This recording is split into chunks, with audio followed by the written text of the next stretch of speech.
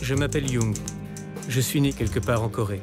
J'ai quitté ce pays lorsque j'avais Approve 5 for. Adoption, un documental d'animació que narra en primera a persona una adopció, obrirà la setzena edició del Festival Docs Barcelona, un certamen que enguany vol traspassar les pantalles i apropar-se més al públic.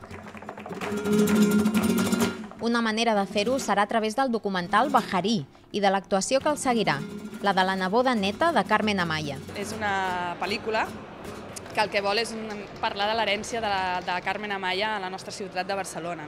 És un, el que volem volgut fer en Bajarí és una, celebrar aquesta ciutat fantàstica que tenim i, i retrobar, fer emergir una mica aquesta, aquesta memòria, a vegades una mica oblidada, de tota la comunitat gitana i el seu art. No?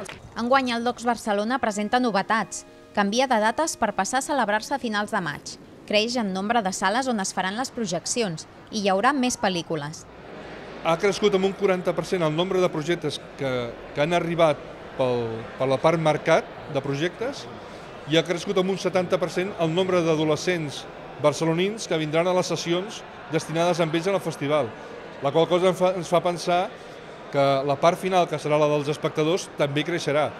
Tot això per seguir treballant en els seus objectius principals, acostar el documental a tots els públics i esdevenir un dels mercats internacionals més importants de presentació i finançament de projectes. I aquest any ens han arribat projectes de, em sembla, són 37 països que volien venir al Docs Barcelona per finançar els seus projectes i convertir-los en pel·lícules. El Docs Barcelona és un festival que ha anat creixent i que cada vegada més ha donat suport a, a, a la creació de, de, de cinema documental de, de casa nostra. No? És importantíssim que existeixin plataformes com el Docs Barcelona. The Google Book Scanning Project Google i el Cervell Mundial, un treball sobre el projecte Google Books, Wars Glory, un retrat dur i tendre sobre la prostitució a Tailàndia, Bangladesh i Mèxic, o en un xip multicolor, la història d'un noi que només veu en blanc i negre. Són només alguns dels títols que conformen un programa on tothom pot trobar el seu espai.